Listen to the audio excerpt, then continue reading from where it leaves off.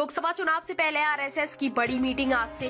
भागवत समय संघ की टॉप लीडरशिप तीन दिन हरियाणा में रहेगी। कई बड़े फैसले संभव। राष्ट्रीय स्वयंसेवक संघ आरएसएस की अखिल भारतीय प्रतिनिधि सभा की बेहद महत्वपूर्ण बैठक आज से हरियाणा में शुरू हो रही है। बारह से चौदह मार्च तक चलने वाली ये तीन दिन की मीटिंग पानीपत के समालखा एरिया में होगी। वर्ष दो हज़ार चौबीस में होने वाले लोकसभा चुनाव से पहले आरएसएस की टॉप लीडरशिप की यह आखिरी बड़ी मीटिंग है। इसलिए आज से इसमें संघ और बीजेपी के बीच को ऑर्डिनेशन का काम करने वाले कुछ चेहरे बदले जा सकते हैं। इसके अलावा आरएसएस के कुछ लोगों की जिम्मेदारियाँ बदलने का फैसला भी इसमें हो सकता है। इस मीटिंग की अहमियत का अंदाज़ा इसी से लगाया जा सकता है कि आरएसएस प्रमुख डॉक्टर मोहन भागवत चार दिन पहले ही समालगा पहुँच चुके हैं। वह चार दिनों से समालगा एरिया के पट्टी कल्याणा गाँव में खास तौर पर इस मीटिंग के लिए बनाए गए सेंटर में संघ के प्रमुख चेहरों से विचार मंत्रणा कर रहे हैं। अखिल भारतीय प्रतिनिधि सभा एबीपीएस की इस वार्षिक बैठक में देश भर से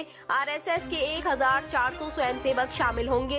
इनमें सर संचालक डॉक्टर मोहन भागवत व सर कार्यवाह दत्तात्रेय हौसबोले के साथ सभी सह सर कार्यवाह आरएसएस की अखिल भारतीय कार्यकारिणी, क्षेत्रीय व प्रांतीय कार्यकारिणी संघ के निर्वाचित प्रतिनिधि और सभी विभाग प्रचारकों के साथ साथ संघ के ही चौतीस अलग अलग संगठनों के चुनिंदा, निमंत्रित स्वयंसेवक शामिल होंगे।